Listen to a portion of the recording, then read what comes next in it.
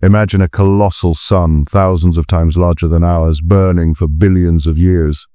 Then, in its final moments, it dies. When a star goes dark, it doesn't just fade away, it transforms. Massive stars explode in spectacular supernova, scattering the very elements that create planets and ultimately us. Smaller stars like our sun swell into red giants before collapsing into dense white dwarfs, embers of their former glory.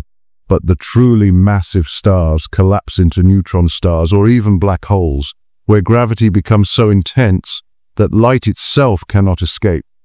These stellar deaths forge gold, silver, and the very atoms that make up your body. So when stars go dark, they don't disappear. They become the architects of new worlds and part of the cosmic cycle of life itself. Don't forget to like and share this video to explore the mysteries of our universe.